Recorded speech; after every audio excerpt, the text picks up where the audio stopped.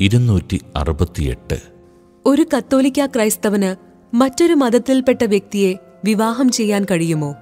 മറ്റൊരു മതത്തിൽപ്പെട്ട വ്യക്തിയുമായി വിവാഹം ചെയ്ത് ആ വിവാഹത്തിൽ ജീവിക്കുന്നത് കത്തോലിക്കരെ സംബന്ധിച്ചിടത്തോളം വിശ്വാസ കാര്യങ്ങളിലും അവർക്ക് ജനിക്കാനിരിക്കുന്ന കുട്ടികളിലും പ്രയാസമുണ്ടാക്കും.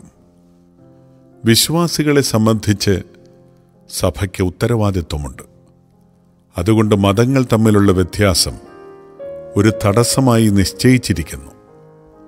വിവാഹത്തിന് മുൻപ് തടസ്സങ്ങളിൽ നിന്ന് ഒഴിവാക്കുന്ന കൽപ്പന വാങ്ങിച്ചെങ്കിലേ സാധുവായി വിവാഹം നടത്താൻ സാധിക്കുകയുള്ളൂ.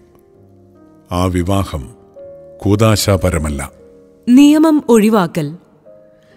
കത്തോലിക്ക കാനൻ നിയമത്തിലെ ഒഴിവാക്കൽ സഭാ നിയമത്തിൽ നിന്നുള്ള ഒഴിവാക്കലാണ്. പ്രാദേശിക മെത്രാനോ പരിശുദ്ധ സിംഹാസനമോ ആണ് നിയമത്തിൽ നിന്ന് ഒഴിവു നൽകാൻ യോഗ്യതയുള്ള അധികാരി.